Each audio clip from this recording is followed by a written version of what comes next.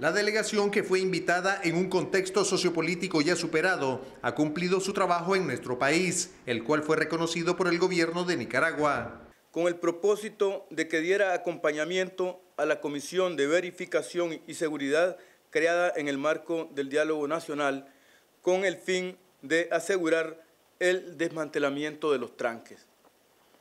Por lo tanto, considerando que han cesado las razones, causas y condiciones que dieron origen a dicha invitación, este Ministerio comunica que da por concluida la invitación y finalizada la visita a partir de el domingo, que es lo que les comunicamos a ellos. Hemos tomado contacto con eh, Ginebra, donde está nuestra sede, y con el alto comisionado. Eh, lo dije anteriormente y lo vuelvo a repetir, nosotros consideramos que este tipo de invitación es una muestra de buena fe de los gobiernos, eh, que la interpretación eh, sobre la invitación respecto a la Comisión de Seguridad y Verificación que están haciendo termina.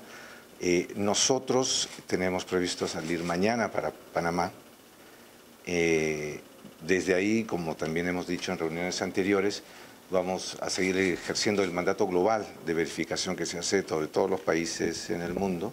El jefe de la misión de la Oficina del Alto Comisionado de las Naciones Unidas para los Derechos Humanos se refirió a la manipulación mediática que hacen algunos medios de comunicación para confundir a la gente sobre la salida de la representación de la ONU.